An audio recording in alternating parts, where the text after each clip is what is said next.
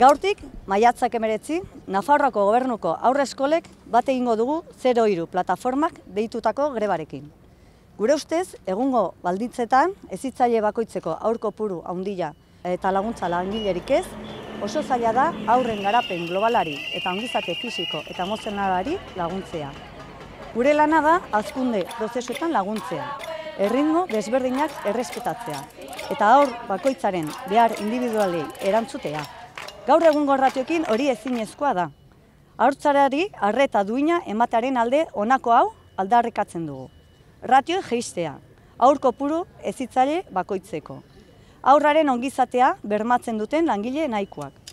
Aur eskolen doakotasuna, guztiontzako hezkuntzarako eskubidea bermatzeko. Lanpostuaren erantzukitzunarekin bat datozen lan balditza duinak eta berdinak Nafarroako aurre eskoletako langile guztientzat. Aurre eskolak kudeatzeko udalei ematen zaien finanziazioa handitzea. Aukera paregabea da Nafarroako gobernuga, gobernuak 03 hezkuntza etapa eta Nafarroko aurrek merezi duten kalitatea eta duintasuna aintzat hartzeko. Politikari diote, bado kalitatea, baina ez